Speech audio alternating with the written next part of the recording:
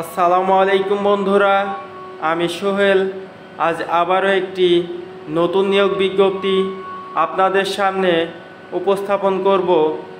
ডাক অধিদপ্তর, ভৌত অবকাঠামো, উন্নয়ন ও সম্প্রসারণ শীর্ষক প্রকল্পে নিয়োগ বিজ্ঞপ্তি।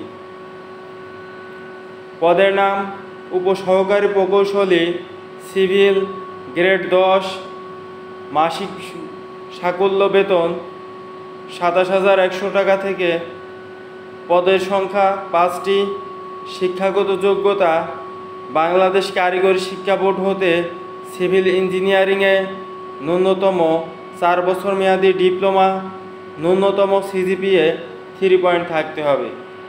প্রার্থীর বয়স তিরিশ চার দুই হাজার বাইশ খ্রিস্টাব্দ তারিখে একুশ হতে তিরিশ বছরের মধ্যে হতে হবে।